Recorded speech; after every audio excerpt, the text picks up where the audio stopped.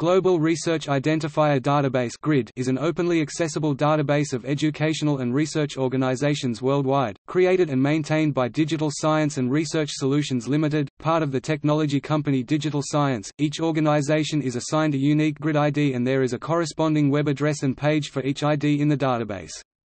The dataset contains the institution's type, geo-coordinates, official website, and Wikipedia page. Name variations of institutions are included, as well. The first public release of GRID occurred on the 22nd of September 2015, and it contained entires for 47,648 institutes.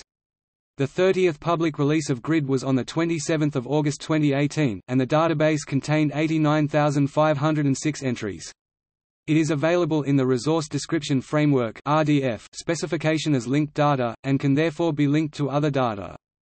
Containing 14,401 relationships, GRID models two types of relationships, a parent-child relationship that defines a subordinate association, and a related relationship that describes other associations. In December 2016, Digital Science released GRID under a Creative Commons CC0 license, without restriction under copyright or database law. The database is available for download as a zip archive, which includes the entire database in JSON and CSV file formats, from all the sources which it draws information, including funding data datasets, Digital Science claims that GRID covers 92% of institutions.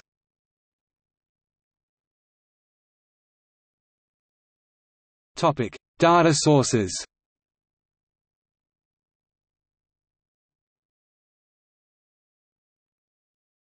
Topic: Example.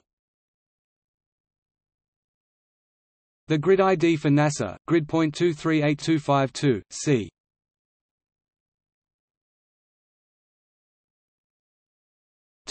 External links. Official website. Grid support. gridact.freshdesk.com. Global Research Identifiers Database 11 Grid.